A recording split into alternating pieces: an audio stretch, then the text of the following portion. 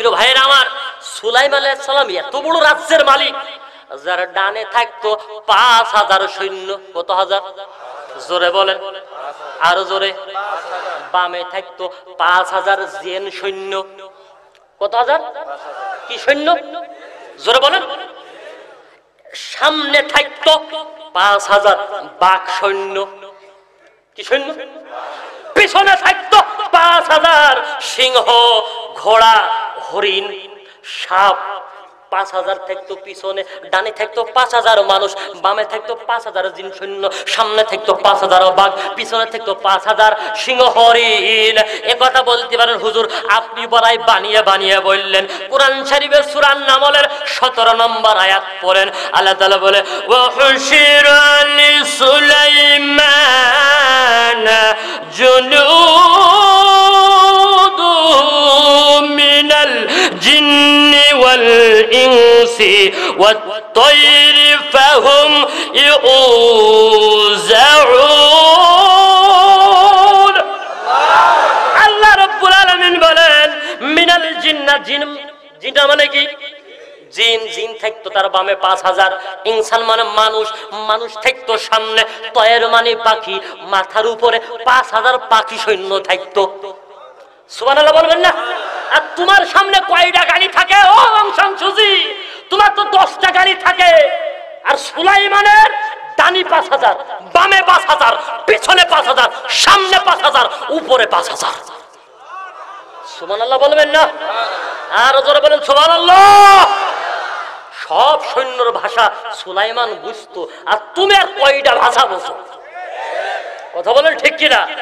এই সুলাইমান রাষ্ট্রে কাজে রওনা করেছে একটা পাহাড়ের উপর দিয়ে হঠাৎ করে পিপিলিকার দল বলতেছে হাত্তা ইযা আতাউ আলা ওয়াদিন নামলি قالت نملة يا أيها النمل ادخلوا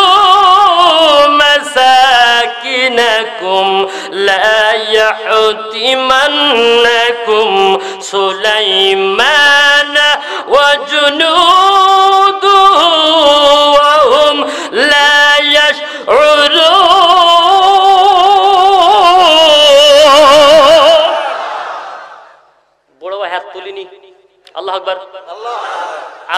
খেয়াল করবেন।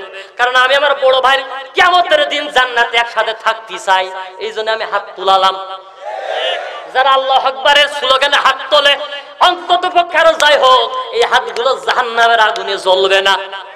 এই দুনিয়ায় হয়তো হাতে হাত পড়াতে পারো এ দুনিয়ায় হয়তো পাই বেড়ে দিতে পারো এ দুনিয়া হয়তো গলায় শিকলি দিতে পারো, হয়তো জেলে নিতে পারো। এই হাত আল্লাহ আকবার বলে তোলে, অন্তত কিয়ামতের দিন আমাদের হাত আল্লাহ বেড়ি পরাবে না। কথা বলে ঠিক কিনা? যত বেড়ি পরাবা, তত বেঁচে গেলাম। আল্লাহ বলেছে, দুনিয়ায় যে কষ্ট করবে, আখেরাতে তার জন্য জান্নাত।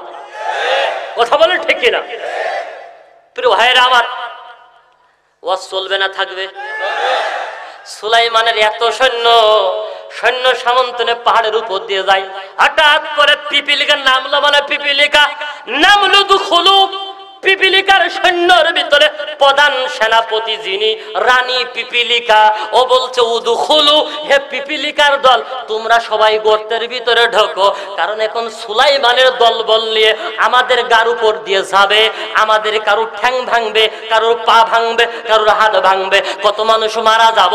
ও পিপিলিকার দল, যেই সুলাইমান হাটে, ও বসে না, ওর জ্ঞান নেই। সাইডে খালি কথা না। এত বড় প্রেসিডেন্ট ডানি বামে সামনে পিছনে উপরে পাঁচ হাজার করে সৈন্য থাকে, তার ব্যাপারে পিঁপড়ে বলতেছে, ও পিঁপড়ের দল সবাই গর্তর ভিতর ঢোকো, ওই যে সুলাইমান যাচ্ছে প্রেসিডেন্ট ও বোঝে না, ওর জ্ঞান নেই। কি নেই? জোরে বলেন, কি নেই? জ্ঞান নেই। এই কথা পিপিলিকার কথা সুলাইম আলাইহিস সালাম বোঝে না বোঝে না। সুলাইমান দাঁড়িয়ে গেল হ্যাঁ পিপিলিকা, কি বললি? কি বললি? বলে হ্যাঁ আমি যা বলেছি বলেছি, তুমি বোঝো না। বলে কথা বললি কেন? বলে, সুলাইমান, তুমি রাগ করলে কেন? আমি শুনেছি, তুমি আল্লাহর পাইগম্বার, তুমি আমার কথা শুনে রাগ করেছ। রাগ যারা করে, এরা আল্লাহর পাই পাইগম্বার হতে পারে না। আগে মিসকি হাসো, তার উপরে তোমার সাথে কথা, নইলে কথা হবে না। সুবান আল্লাহ বলবেন না? প্রিয় ভাই না সুলাইমান, পিপিলিকার কথা শুনে মিসকি হাসি দিয়ে দিল সুবান আল্লাহ বলেন। এবার পিপিলিকা বলে, সুলাইমান, তুমি কি জানো আমরা কারা? বলে কারা? বলে, আমরা হলাম পিপিলিকা, তোমার রাজ্যের আমরা প্রজা। এটা তো তুমি মনেই করো না। তুমি যেই দলবল নিয়ে যাও, এই দলবলের পাত জীবন যায়। তুমি তো কিছু মনেই করো না। আমি যে, আমরা পিপিলিকা যে, তোমার দেশের প্রজা, এটা কি তোমার বিশ্বাস হয় না? এবার সুলাইমান বলে, সত্যি কি তোমরা আমার দেশের প্রজা? এটা তো জানতাম না। পিপিলিকা বলে, আমরা যে তোমার দেশের প্রজা, এটা তুমি জানো না। এটা তোমার এক নম্বরে অজ্ঞানের প্রমাণ। এখনও পর্যন্ত কিছু কিছু দেশের লোক ওরে বাবা অহংকার করে হেঁটে যায়, আর আমরা যে ওদের প্রজা, ওরা কিছু মনেই করে না। কথা বলেন ঠিক কিনা? ওরা কিছু মনেই করে না।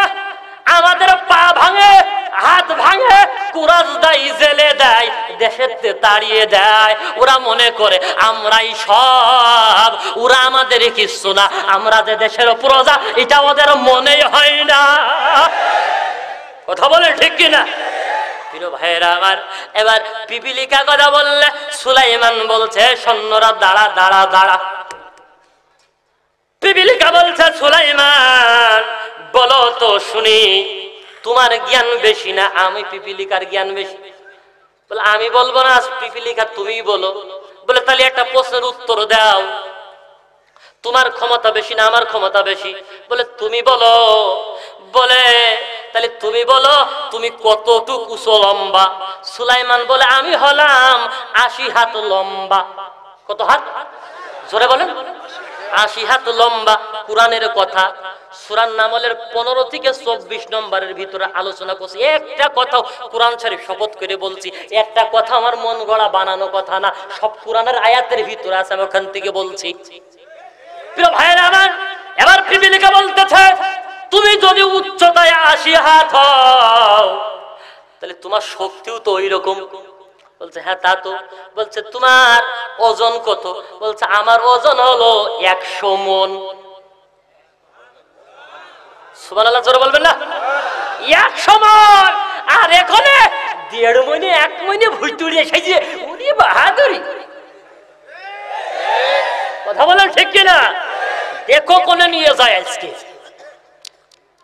প্রিয় ভাইয়ের আমার আর ওই যে গত আলোচনায় কুকুর বানিয়ে খেকি কুকুর বানিয়ে থেকে গেলাম। মনে আছে? এবার ওই কুকুরি জায়গাতে ঘাস হবে। আলোচনা চলবে? ভাই ঘড়ি দেখছেন কা? বারোটাই শেষ করে দিবা না। প্রিয় ভাই। না আমার বলছে তোমার উচ্চতা আশি হাত তোমার ওজন একশো কেজি। একশো মন তুমি কি একশো মনের বেশি মালামাল মাথায় নিয়ে যেতে পারো? বলে, না, তা তো পারিনি। এবার পিপিলিকা বলতে শোনো, আমার ওজন যতটা, তার থেকে সত্তর গুণ বেশি জিনিস আমি নিয়ে বহন করতে পারি।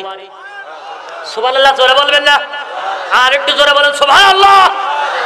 প্রিয় ভাইয়ের আমার এইখানে কথা কেন আসলো? এই যে আয়াতটা আমি তেলাত করলাম। আল্লাহ নবীর মনটা বড় খারাপ। বিশ্ব নবী জনাবে মোহাম্মদ রসুল্লাহ সাল্লাল্লাহু আলাইহি সাল্লামের বিরুদ্ধে এমন ষড়যন্ত্র আইটলো যে নবী সাল্লাহ সাল্লামকে আর দুনিয়ায় রাখবেই না। কি করবে না? জোরে বলে কি করবে না? বাড়িতে ডাইকলো গোল টেবিল আবু জেল আবুল আবুদ বা সাহেবা সবাই এক জায়গায় বসল। তেরোটা গোত্র থেকে তেরো জন লোক দাওয়াত করল। কত গোত্র? তেরো গোত্রতে তেরো জন লোক ডেকে বলল, মোহাম্মদকে তো কত কথা বললাম, তো দাওয়াতি কাজতে তো ফিরলই না, তাহলে কি করা যায়? ভাই, হত্যা করো হত্যা করো, ঝুলিয়ে দাও ঝুলিয়ে দাও। মাইরে ফেলাও, তাহলে বিলির কাগজে সই করো। তেরো গোত্রের লোক সই করে দিল। এবার আবু জেল গুনতেছে, এক, দুই, তিন, চার, পাঁচ, তেরো হয়ে গেল। কারণ কি? এই এই বংশ হলো তেরোটা কেন? কার সমস্যা আছে? এ আবুল আহাব উদ্বা সাইবা, এ, তোরা ডাক আমাদের মধ্যে মোহাম্মদের গোপন গোয়েন্দা ঢুকেছে। তা নাহলে তেরোটা সই থাকার কথা, সই এখানে চোদ্দটা আসলো কেন? আমার ভাইরা খুব খেয়াল করে বুঝবেন। ক্লিয়ার করে রাখা রয়েছে। আবু জেল বলে, আবার গুনে গুনে দেখে তেরোটা, কিন্তু সই কয়টা? জোরে বলেন, কয়টা? তেরোটা তেরোটা গোত্র সই করেছে চোদ্দটা, সই হবে তেরোটা, সই হয়ে গেছে চোদ্দটা। এবার আবু জাহেলের কানের কাছে মুখ নিয়ে এসে ইবলিশ শৈতান বলে, আবু জাহেল, আমি তোমার দাদা এখানে আসি তোমরা হলে তেরো গোত্র তেরো। আর আমি ইবলিশ এক গোত্র আমি সবার সামনে যাই না আমি গোপনে গোপনে সিল মারিয়ে দিয়েছি। মোহাম্মদের মারো হুজুর মারো, আলেম মারো হুজুর মারো, সই করে দিয়েছি। আজও যারা আলেম মারো, সই করে, এরা ওই গোত্রের লোক। কথা বলেন ঠিক কিনা? মুসলমান থাকতে দেব না, মায়ানমারে মুসলমান থাকতে দেব না। ও কথা বলে যারা বিলি সই করে, ওরাও হইল আবু জাহেল গোত্রের লোক। জোরে বলেন, ঠিক কিনা? সই করে দিয়েছে। আল্লাহ নবীর মনটা বড় খারাপ। নবীজি ঘরে দরজা দিয়ে বলে, আল্লাহ, আমার তো রাখবে না। আল্লাহ বলে, ও নবী, চলে যাও সুরা আন্নমল তেলত করো। আমি আল্লাহ রব্বুল আলামিন সুলাইমান পাইগম্বরকে এত জ্ঞান দান করিলাম তারপরেও ছোট্ট ক্ষুদ্র পিপিলিকার কাছে সুলাইমান হার মানিল। জোরে বলেন? এই পিপিলিকার কাছে যদি সুলাইমান হার মানতে পারে